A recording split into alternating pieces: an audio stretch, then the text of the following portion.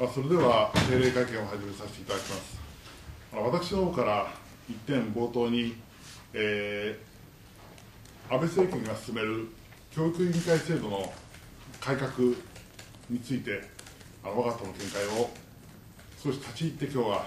述べさせていただきたいと思います。ご承知のようにですね自民党が昨日、えー、文部科学部会を開き安倍政権が進める教育委員会制度の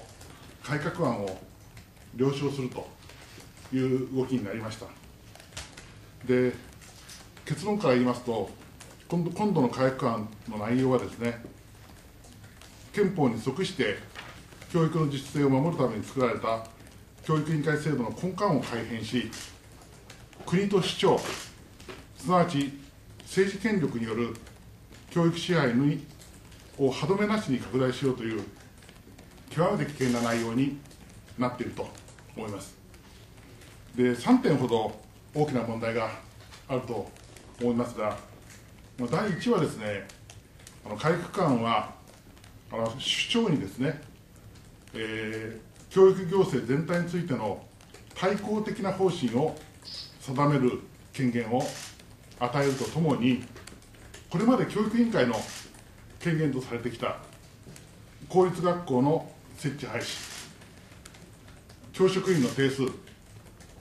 えー、教職員の人事、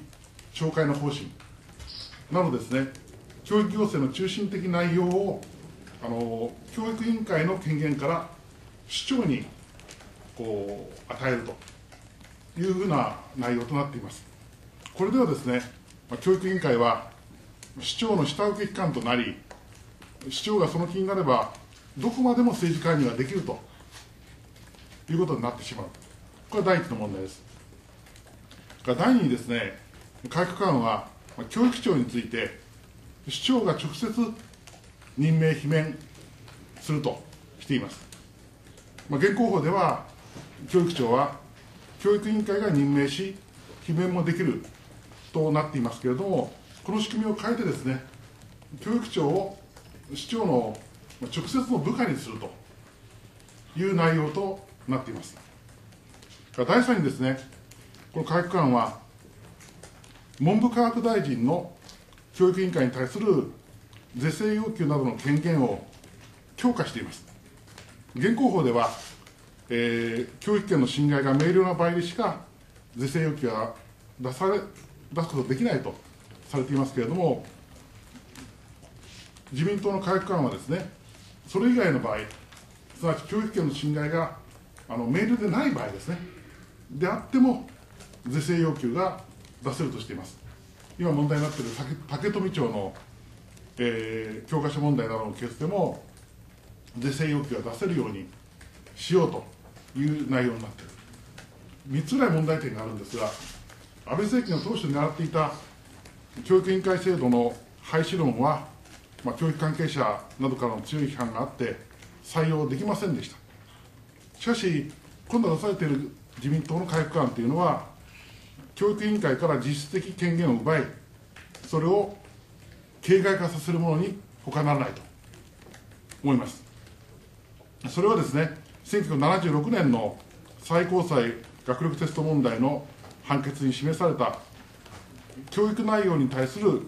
権力的介入は抑制的であるべきとするですね、日本国憲法の要請を踏みにじり、教育への無制限の権力的介入、支配への道を開くものと言わなければなりません。そしてですね、こうした内容が具体化されるとしますと、市長が変わればですね、その一存で教育現場も振り回されることになるという混乱が起こり、子どもたちがその最大の犠牲者になるということもあの指摘しなければなりません。日本共産党としてはですね、私たちはあの安倍政権の教育委員会制度改革に強く反対します。そして教育委員会の制度については、あの子ども、保護者、住民、教職員の声をきちんと受け止め、それを教育行政に反映させる機能を果たせるようにですね、民主的改革を求めていきたいと思います。そして憲法が保障する教育の自主性、自立性、自由を擁護し、それを生かした教育改革を進めるために力を尽くしたいと考えています。最後にですね、あのこの動き全体として捉えますと、あの解釈会見による集団的自衛権の行使など、海外で戦争する国づくりと一体のものだということをしていきたいと思います。で、流れで言いますとね、秘密方法によって国民の目と耳と口を塞ぐ、NHK の経営委員会人事に見られるように、公共放送を自らの支配下に置く、そしてですね、今度のあの自民党の動きに見られるように、教育制度の改悪によって、教育への無制限の権力的介入、権力的支配の道を開く、秘密方法、NHK、そして教育、えー、そういう情報の面、それからあ報道の面、教育の面、この全体がですね、海外で戦争する国づくりへの不可欠の構成部分となっていると。いう点が非常に重大だと思います。私たち日本共産党は、先日の党大会でですね、戦争する国づくり、安国日本への道を許さない国民的共同を呼びかけておりますが、あのこの戦いがいよいよ重要になってくるということを心得てですね、大いに力を尽くしたいというふうに考えております。私の方から以上です。あとはご質問をお答えしたいと思います。どうぞ。はい。NHK の話です。はい、先ほどの教育委員会の関連でお聞きしたんですけれども、その委員長はその民主的な改革を求めていきたい、多分その制度の理念自体がこう、教育委員会の制度の理念自体を残すべきだというお考えだと思うんですけれども、現状のその教育委員会について、どういった点が問題で、どういった改革が必要だと、共産党の考えはどうですか？やはりあの一番の基本はですね、あの教育委員会がですね、えー、この現場のですね子ども、保護者、住民、そして教職員、この意見をきちんと受け止めて、それを反映したようなあの仕組みにしていくと、ここに一番の改革の方向があると思ってます。もともと教育委員会の制度というのは公選制でした。ですから、公選という制度が最もね、あり方としてはベストの方向だと思うんですが、すぐそこまでいかないにしてもですね、あの今の制度のもとでもですね、あの現場の声がもっときちんと生かされる、反映される、そういう運営にしていく、そういう制度にしていく、そのための改革をですね、あの私の党としても方向性を目指してね、あの求めていきたいと思っております。重ねてなんはい、そうすると今の教育委員会の制度にはどういったところの問題点があると思います？やっぱりあの今の制度の下でもですねあの文部科学省制度のですね上位形的なねさまざまな押し付けがあの教育委員会制度を通してもねあの現場に届けあ押し付けられると。いうことがあの多々見られると、やっぱりそれをですね、本来の教育委員会の制度というのは、あのうん、憲法に即して、教育の実践を守ると、事実性を守ると、教育の自由を守ると、ここに教育委員会制度の一番の根本があるわけで、その仕事がですね、なかなかできづらくなっていると。いうところに一番の問題があると。ですから、あの現場の声がきちんと受け止めて、あの生きるようなね、制度にしていく必要があると。いうのが私たちの考えです。この点はもう少しあの今、えー、我が党の政策部門でもあの現行制度の下での、えー、改善改革の方向についてあの検討している段階です。私自身のあの考え言えばあのかつてのね公選制にあの戻していくっていうのが一番ベストだと思いますが、そこまですぐにいかないにしてもね、あのまずはできるという回復の方向は、今言ったような方向だと思っております。はい、あのちょっとテーマ違いますけど、はい、先ほど衆議院の予算委員会で、あの93年の行動効能談話を作った時の、まあ、その一ちの一人の事務方であった石原信夫元官房副長官が先ほどあの維新の質問の時に出席しましてそれで、まあ、慰安婦16人の証言についてその証言についての後からのその裏付けの調査はしていないというような証言を先ほどしたんですけども、まあ、この動きでこのことについてどういうことで、うん、河野談話自体はですねあの証言に基づいてその信憑性を政府として確認してあの発出されたというふうに考えております。先ほどの石原さんの証言でもですねあのその点はあの明確に述べられていると思っております。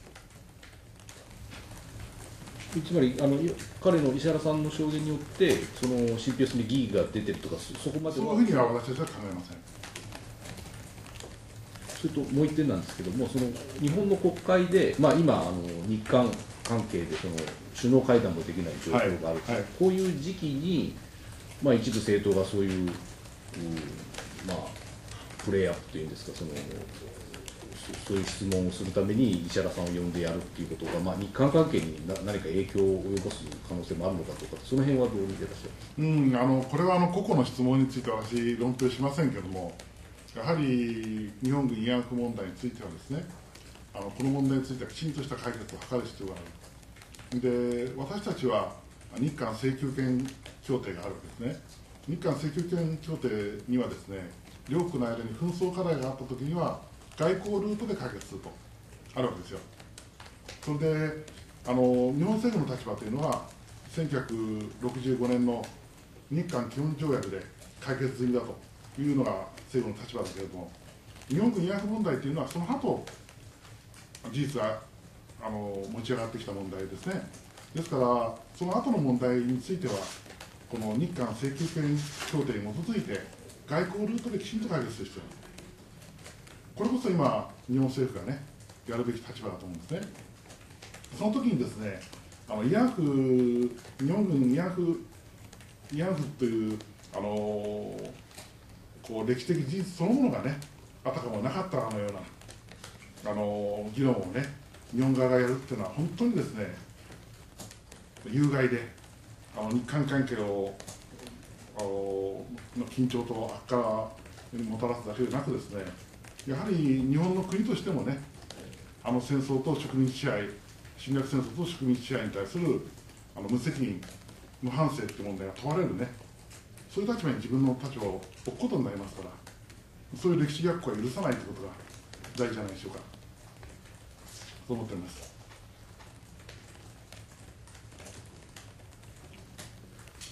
はい。すみません、えっと、また別なんですけども、あの、えっと、あの発言について、はい、まあ、その日米関係に与える影響ですが、そういったところも含めて、どういうふうにご覧になってまあ、江藤補佐官の発言というのは、一言で言いますとね、安倍首相の本音を代弁したものだと思います。でもちろん発言そのものは許し難い内容だと考えます。でもちろん日米関係にも悪い影響を与えると思いますしかしあの彼がああいう発言したことはまさに安倍首相の本本心を代弁したものだと思いますこれ一番の問題はで安倍安倍首相に対してですね私も本会議で靖国参拝について正したわけですけれども首相の答弁というのは問題ないと。国のリーダーが戦争の犠牲者に哀悼を捧げるのは当たり前のことで当然だと。何の問題もないと。いう立場でを表明したわけですね。何の問題もないということはアメリカによるですね失望したという批判は当たらないと言ってるわけですよ。はっきり言えば。そう言ってないだけで内容的にはそういうことを言ってるわけですよ。ですからまさにその首相の立場を代弁したというのがあの補佐官の発言のあの一番の本質だと思います。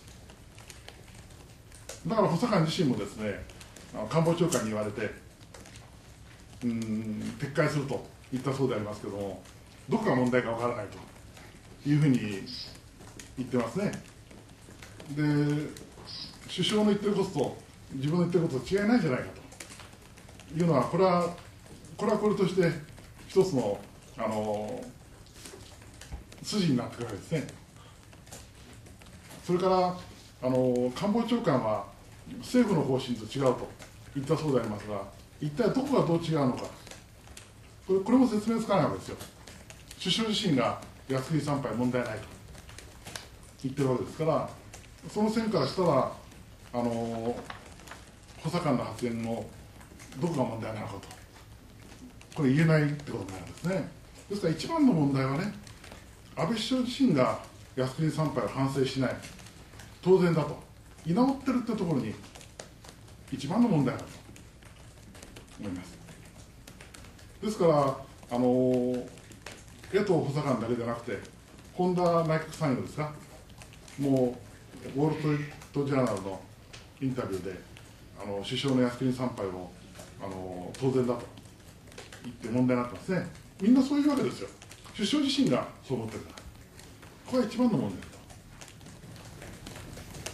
そういった一連の問題について、その共産党としては国会でどういうふうに追及していく。うん、やはり我々あの本会議でも追及しました、予算委員会でもこの問題追及してきましたけれども、やはり靖国参拝というのは、特に首相がそれを行った場合には、こう靖国神社の立場である、うん、先の大戦は自尊自衛の戦争だった、アジア解放の戦争だった。というですね、えー侵略戦争皇帝美化版に自らの身を置くってことになるわけで、それを世界に向かって宣言することになるわけで、こういう行動を一切やめるということを強く求めていきたいと思います。